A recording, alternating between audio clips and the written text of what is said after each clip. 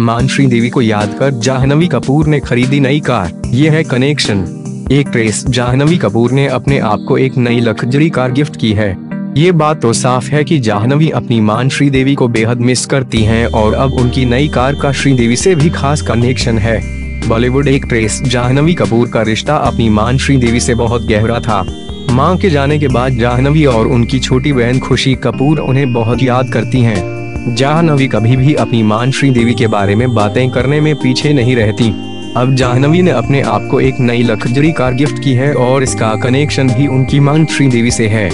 जाह्नवी अपनी मान श्रीदेवी को बेहद मिस करती हैं और अब उनकी नई कार का श्रीदेवी से भी खास कनेक्शन है।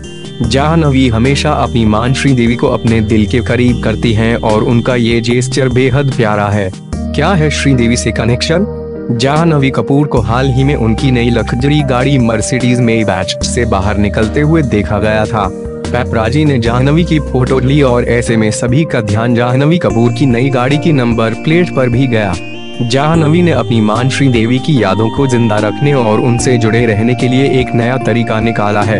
अगर आप श्रीदेवी के फ़ैन हैं तो आपको याद होगा कि उनके पास भी एक सफ़ेद रंग की मर्सिडीज गाड़ी थी, जिसकी रजिस्ट्रेशन नंबर प्लेट पर एम एच शून्य दो डी जेड सात हज़ार छह सौ छियासठ लिखा था। श्रीदेवी को इस नंबर की गाड़ी में पति बोनी कपूर और बेटियों खुशी और जाह्नवी कपूर के साथ ट्रेवल करते और उतरते कई बार देखा गया था। जाह्नवी हमेशा ही बताती हैं कि उन्हें कैसे अपनी माँ की याद आती रहती है और माँ की गाड़ी की नंबर प्लेट को अपना बनाना उनका अपनी माँ को अपने पास रखने का अनोखा तरीका है। बॉलीवुड में छाने को तैयार हैं जाह्नवी।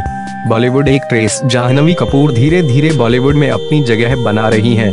बोनी कपूर और श्रीदेवी की बड़ी बेटी जाह्नवी कपूर ने अपना बॉलीवुड डेब्यू साल 2018 में आई फ़िल्म धड़क से किया था। इस फ़िल्म को डायरेक्टर शशांक खेतान ने बनाया था और इसमें शाहिद कपूर के छोटे भाई ईशान खट्टर ने जाह्नवी संग काम किया था। जाह्नवी कपूर के बॉलीवुड प्रोजेक्ट्स की बात करें तो उनके पास इस समय कई बड़े प्रोजेक्ट्स हैं। जाह्नवी जन सक्सेना, द कारगिल गर्ल और रूही अफजा जैसी फ़िल्मों में काम कर रही हैं। इसके अलावा वे करण जौहर की दो बड़ी फ़िल्मों दोस्ताना दो, बॉम्बे गर्ल और तख्त में भी अहम भूमिकाएँ निभाती नज़र आएँगी।